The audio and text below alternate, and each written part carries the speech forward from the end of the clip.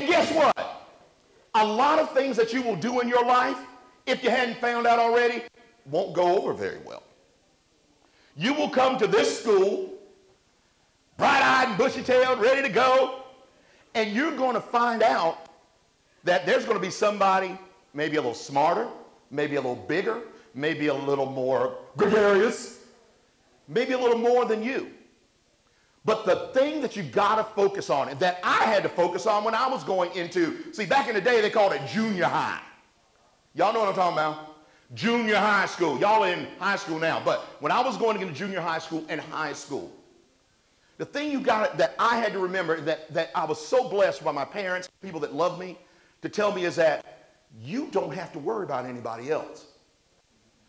The person that you got to make sure that you take care of is you.